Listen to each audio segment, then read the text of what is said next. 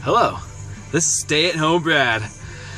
I today I'm trying out this Starbucks iced coffee, coffee and milk flavor, which is to say plain.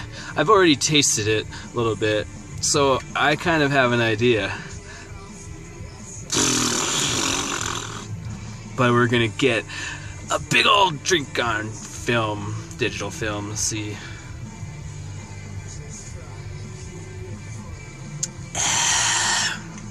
No, it's not very good at all. It's actually pretty bad.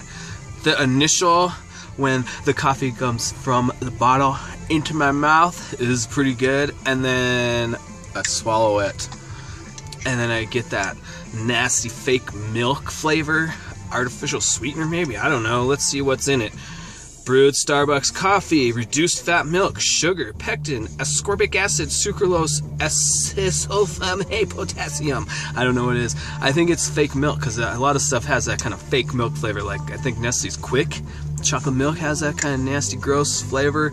Stuff that you can put on the the shelf and just sit there forever. This uh, Horizons organic box milk you might see at your grocery store. Also has that kind of flavor. I just don't really like it. So anyways, I'm gonna give a big thumbs down to the Starbucks iced coffee in the bottle. Bleh!